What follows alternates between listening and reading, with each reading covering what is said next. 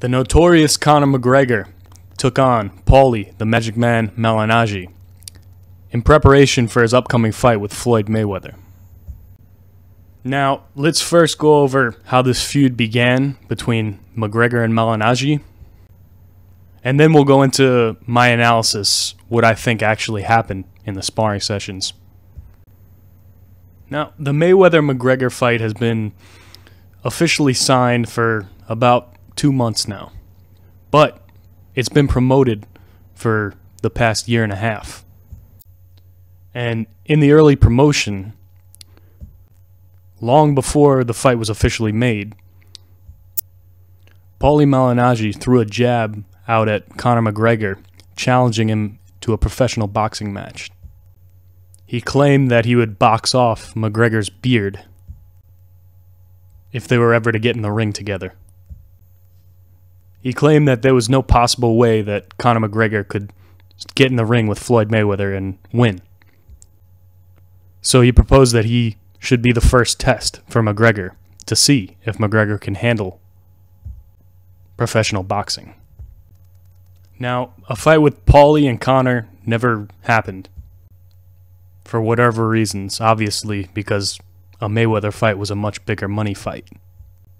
And Paulie's relevance in boxing isn't really much past him being a commentator. But Conor McGregor is a very prideful man, and it seems that he never forgot the words that Malignaggi had said about him. So a couple months later, the Mayweather McGregor fight is official. And Conor McGregor requests to have Paulie Malignaggi be one of his sparring partners. Sparring partners are paid fighters who are supposed to get another particular fighter ready for a big fight. So Paulie agreed to the terms. And the two sparred on just about two occasions.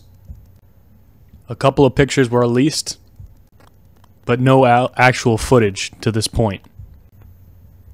After the second sparring session with McGregor, Malignaggi quit sparring. He quit helping the McGregor camp. Now, before the camp started for Malignaggi, he seemed pretty optimistic and he seemed like he wanted to help McGregor. But now, since he's quit, Malignaggi seems a little salty. Malignaggi claims that he beat up McGregor in, in the sparring sessions. He's going around saying that McGregor can't take shots to the body, McGregor is arrogant, he's cheap, and that the pictures taken were from McGregor's team, who are obviously only going to make McGregor look good. They're not going to put a picture out of Paulie whooping Conor's ass. But let's look into this a little bit. Now, I've never really been a really big Paulie Malignaggi fan. He's I find him better to be a commentator in some cases. Some cases not so much, but he's a pretty good commentator. But he's a much better commentator than he ever was a fighter. He's really not built to be a fighter. He has heart, I'll give him that, no doubt. He has heart. But he he's not a very strong boxer. He has really light punching power. I know he's had a lot of problems with his hands. He's got very fragile hands. He's not very strong, it seems.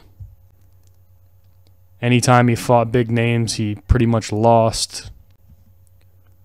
But he's known to have a good ability to survive. He's got a pretty decent chin. And he's got a nice jab. But for all of his deficiencies, he's he managed to become a two-time champion in the boxing world. Now, Conor McGregor is a hard-punching, rough kind of fighter.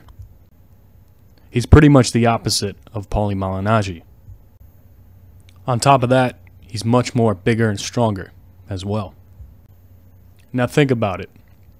Other than Paulie's jab and movement, what can he use to keep McGregor off of him? if he tries to clinch McGregor, obviously McGregor is going to rough him up. And think about it. If this sparring was easy money, Would Paulie really be quitting this early? There's been a couple interviews with the fighters after the sparring sessions. And it looks like Conor McGregor is pretty much untouched. Like, I don't see any black eyes or any bruises on McGregor. But Paulie Malignaggi, on the other hand, looks a little bit beat up. Now, in my opinion, I definitely think that Conor McGregor got the better of Paulie Malignaggi in this sparring. No one's going to fully know, obviously, until they release the footage, but this is what I thought happened. It's tough to take anybody for their word. Both guys are saying they beat the other one's ass. But Paulie Malignaggi says a lot of things that eventually contradict themselves. For example, back in 2013, in the build-up between Adrian Broner and Paulie Malignaggi, Paulie had a lot of beef with Al Haymon. He claimed that the only reason why Broner was a champion was because of Al Haymon. That Al Haymon matches his fighters together with tomato cans and gets them championships. Also, that in close decisions,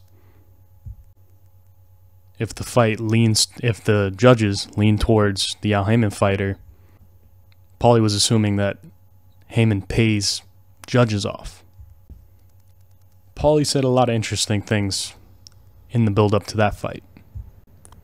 But when the fight was over and Paulie lost a decision to Adrian Broner, after all the negative talk about Al Haymon, Paulie went and joined his team.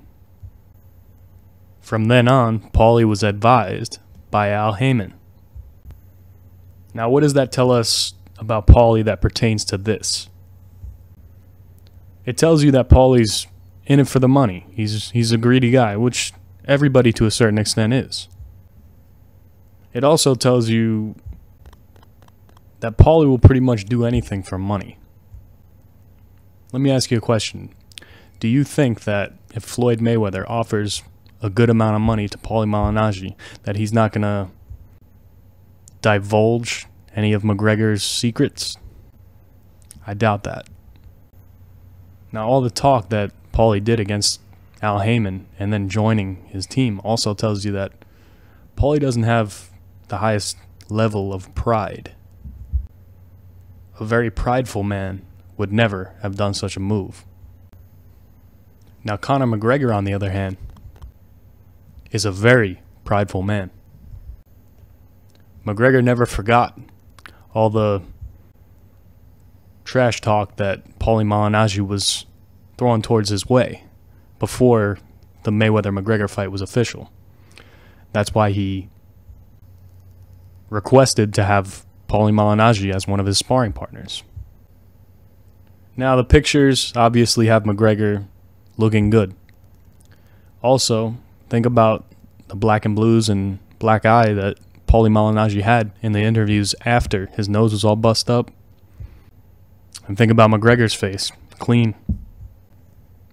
Also think about the attitude and how Paulie, Paulie Malignaggi quit the sparring after two sessions. What do all the arrows point at? In my opinion, they all point at the fact that Conor McGregor probably whooped Paulie Malignaggi's ass in sparring. Now, I'm not saying that in the sparring session, Paulie didn't have his moments. I'm sure he did. I mean, Paulie's crafty. He's got a little speed. He's got that jab, movement. It probably took McGregor a while to figure out how to get to Paulie Malignaggi in the ring. But instead of arguing over who won, who lost the sparring session, hopefully they just release the tapes. Now, how does sparring Paul Malignaggi help McGregor in getting May in getting ready for Mayweather? Well, uh, I say it helps a little bit. It also gives you a good read on what Conor's attitude is and his approach to taking on Mayweather what I take from it is that Conor McGregor is not going to respect Floyd Mayweather. He's not going to lay down for Floyd. He's going to go in there and he's going to take it to him. Does that mean he's going to defeat Floyd? We'll see. Does that change my prediction? Not much. When the fight was first announced, I made a prediction that Floyd would win a wide unanimous decision. Normally, I like doing my predictions before all the build up and all the training footage blurs your mind. But I'm starting to feel what do you call optimistic about McGregor's chances. I'm not picking him to win the fight. I still got Floyd. But I think McGregor is going to make this a very interesting fight. I think he's going to go in there reckless. I think he's going to give it all he has. I think he's going to leave it in the ring. There's a lot of people talking, saying that if McGregor was to miraculously win against Floyd Mayweather, that would be bad for boxing. I think the people that are saying that are very wrong. If McGregor was to stop or knock out or somehow win against Floyd Mayweather, I don't think it would be his last fight. I think he would continue in boxing. Having a character like Conor McGregor in boxing definitely put some life in the sport.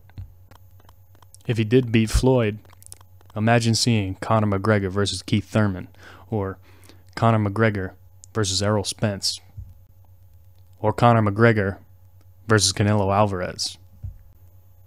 It would be the talk of the town, and I don't see how that could be bad for boxing. People argue that if McGregor wins, that's the end of boxing because it shows that MMA is better than boxing. I totally disagree.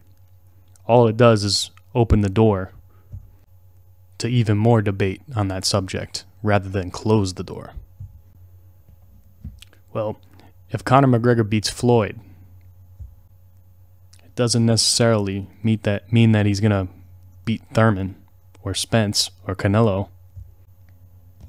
But I want to be clear. I'm still picking Floyd Mayweather to win this fight by a decision. But I want to hear from you guys. Let me know in the comment section what you think.